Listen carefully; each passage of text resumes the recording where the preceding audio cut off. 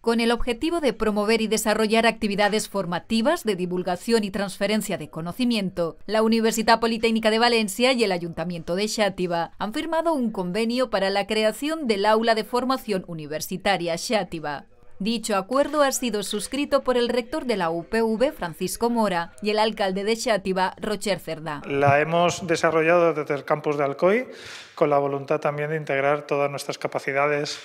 desde el campus de Alcoy y todas las capacidades que tiene toda la Universidad Politécnica de Valencia, ponerlas a disposición del Ayuntamiento de Xátiva a través de un convenio que lo que nos va a permitir es empezar a trabajar en llevar formación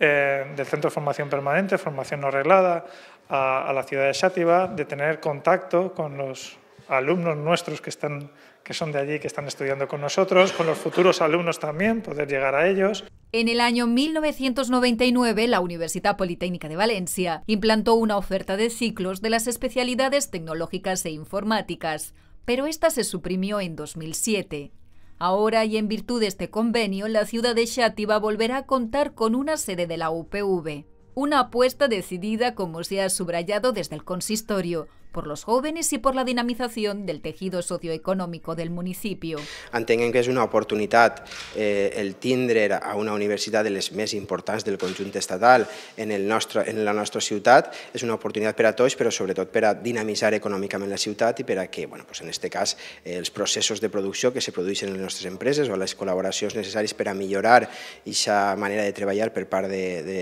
de les empreses de la nostra ciutat, pues, vaja de la mà d'aquells qui aporten el coneixement coneixement, pues, que en este cas és la Universitat Politécnica. Desde el aula de formación universitaria Xátiva se desarrollará un amplio programa de actividades que abarcará tanto la formación no reglada y permanente como la transferencia de conocimiento a la sociedad y las empresas de la localidad, además de todas aquellas iniciativas que tengan como finalidad la promoción y difusión del conocimiento científico, tecnológico y cultural. Una comisión de seguimiento integrada por representantes de la Universidad Politécnica de Valencia y el Ayuntamiento de Xátiva será la encargada de elaborar el programa de actividades del aula y velar por su cumplimiento.